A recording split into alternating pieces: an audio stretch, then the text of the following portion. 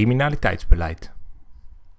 De overheid en de politiek maken een criminaliteitsbeleid. Dat doen ze op twee niveaus.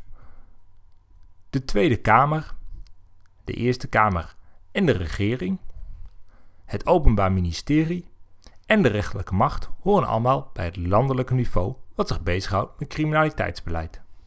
Op lokale niveau gaat het vooral om de gemeente.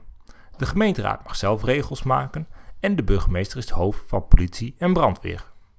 En verantwoordelijk voor de openbare orde en veiligheid in een gemeente. Politieke partijen willen verschillende manieren om criminaliteit aan te pakken.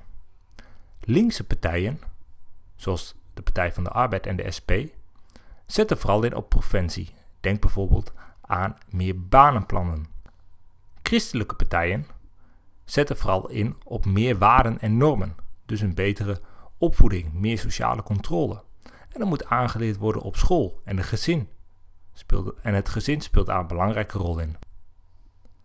Terwijl rechtse partijen zoals de PVV en de VVD vooral repressieve maatregelen zien zitten. Dus meer bevoegdheden voor de politie bij de opsporing van criminelen en zwaardere straffen. Daarbij moet steeds de vraag gesteld worden of het beleid wel werkt.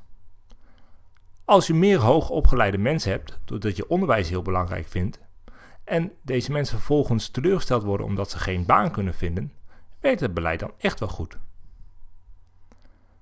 En het gaat ook om de vraag of we het wel eens zijn met het beleid. Vinden we het bijvoorbeeld wel wenselijk dat er hogere gevangenisstraffen komen voor bepaalde misdrijven? Nederland kent vier verschillende beleidsterreinen als het gaat om criminaliteit. De eerste is het opsporingsbeleid. Hierbij moet je bijvoorbeeld denken aan de inzet van speurhonden of moeten er misschien nieuwe bevoegdheden, wettelijke bevoegdheden komen. Het gaat dus om het opsporen van criminelen. Het tweede beleid is vervolgingsbeleid. Het gaat er vooral om hoe gaan we criminelen vervolgen. Doe je dat bijvoorbeeld door middel van snelrecht, ook wel lik-op-stuk beleid genoemd, waarbij je criminelen direct voor de rechter brengt en ook direct straft.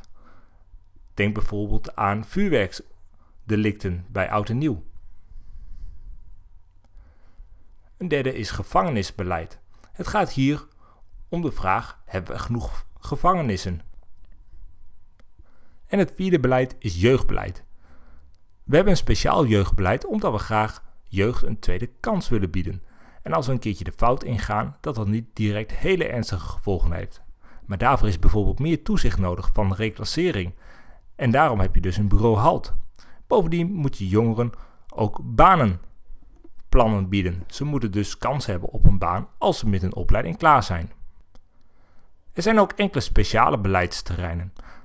Zo besteedt de overheid veel aandacht aan veel voorkomende criminaliteit, omdat dat veel schade toebrengt aan de maatschappij. Zo is er ook extra aandacht voor georganiseerde misdaad, waarbij de plukse kaaltechniek wordt toegepast. Dat betekent dat crimineel geld wordt afgepakt en terug naar de staat gaat. En we hebben tegenwoordig ook steeds meer te maken met terreurbestrijding. Ook daar is speciaal beleid voor. Maar wat doet de overheid eigenlijk om criminaliteit te voorkomen? De overheid wil ook graag meer sociale controle. Denk bijvoorbeeld dan door de inzet van meer conducteurs in de trein. Of meer beveiliging in uitgaanscentra van steden. Detectiepoortjes bij winkels. Een buurtwacht. Of natuurlijk meer blauw op straat. Een andere manier om criminaliteit te voorkomen is het verbeteren van de woonomgeving. Mensen die in een nette omgeving wonen, zullen minder snel crimineel gedrag vertonen. Dus de overheid zal leegstand proberen te voorkomen.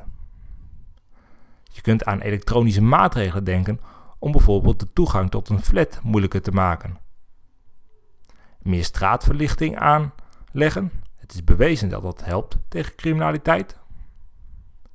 En bijvoorbeeld de begroeiing die dicht langs het fietspad loopt weg te halen, zodat er meer zicht en openheid komt.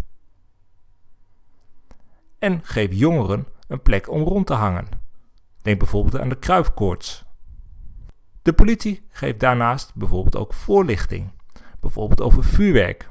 En ook de overheid zendt daar veel, veel voorlichtingspotjes over uit. En de overheid voert ook een actief anti-spijbelbeleid.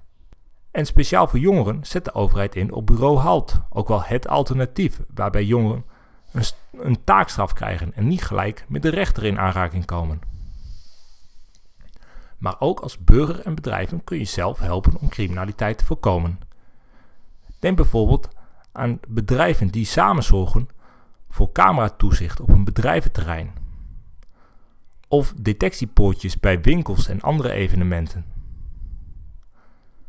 Een actief anti-spijbelbeleid, maar ook ouders die hun kinderen aanspreken op het spijbelen en scholen die daar actief mee aan de slag gaan. En dat mensen ook zelf zorgen voor een, voor een leefzame buurt. Wat heel belangrijk is bij criminaliteitsbestrijding is de eigen verantwoordelijkheid. Maar het blijkt dat heel veel mensen juist die eigen verantwoordelijkheid heel vaak niet voelen.